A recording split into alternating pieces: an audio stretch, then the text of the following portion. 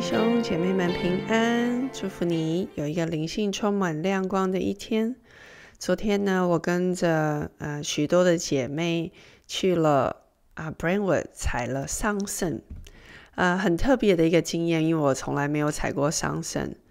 那在这个采桑葚的过程当中，哇，顶着这个啊大大的太阳，但是天气还算是很好的。那我们一群人呢是采的很开心。我跟着一对姐妹一起采桑葚，真的啊，感受真的是特别好。因为我们的团队合作，有人负责找找哪里有熟的桑葚，那有人呢就负责摘，另一个呢就负责包装。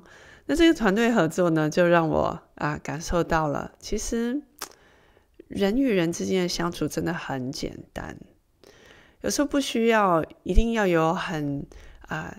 强烈的、很清楚的目标意向，我们一定要志同道合。有时候真的就在这个简单的活动里面，很有默契的去完成，哇，那真的是一种幸福。那种幸福感呢，是顶着烈日下，然后在那边采桑葚，依然是很开心快乐。然后啊，边吃。啊，边享受，而且我们采的桑葚呢，我们也不单单只为自己采，我们都还会多采，啊，就是为了给啊其他的呃不能来的姐妹呢，也能够有机会吃到这个桑葚。今天的灵修呢，是在希伯来书十章十九到二十三节，经文是这样说的：弟兄们，我们既因耶稣的血得以坦然进入至圣所。是接着他给我们开了一条又新又活的路，从幔子经过，这幔子就是他的身体。又有一位大祭司治理神的家，并我们心中天良的亏欠已经洒去，身体用清水洗净了，就当存着诚心和充足的信心来到神面前，也要坚守我们所承认的指望。不致动摇，因为那应许我们的是信实的。你都是用什么样的态度来到神的面前呢？经文提到，我们可以存着诚心和充足的信心来到神面前，因为主耶稣与我们立的约是写在心上的。耶稣他立约的记号，在这一段经文里可以看到，有他自己的血、身体和大祭司的身份。来确定了他与我们所立的约。当有一个人爱你，是用他的身体、他的生命和他尊贵的身份来爱你的时候，你会用一个什么样的态度去面对他呢？这个答案你可以自己想想。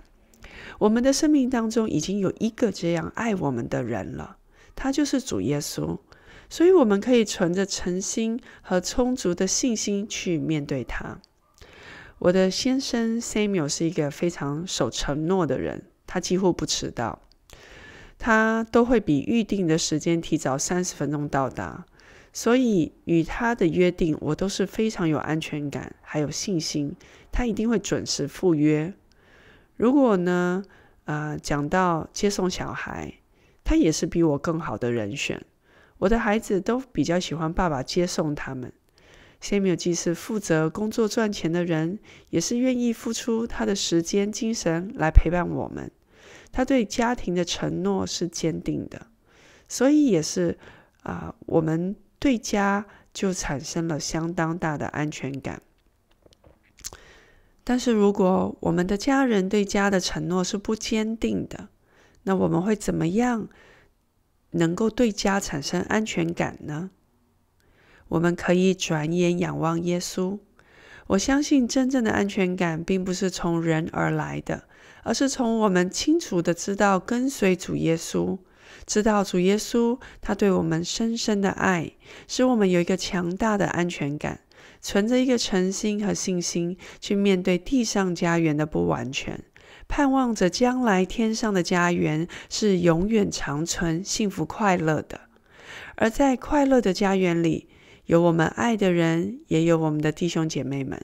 我们到了啊天上家园的时候，就已经都脱去了肉体的软弱，不再有纷争、悲伤、眼泪，更不会有生离死别。让我们一起低头祷告。亲爱的天父，谢谢主耶稣借着他的身体为我们所开又新又活的路，让我们走在其中，凭着信心和盼望，罪恶不再辖制我们。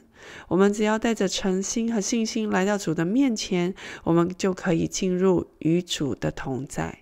愿圣灵浇灌弟兄姐妹有勇敢的信心，纵使地上的家园有不平安和不和平。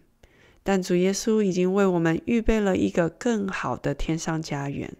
我们感谢主，奉主耶稣基督的名祈求，阿门。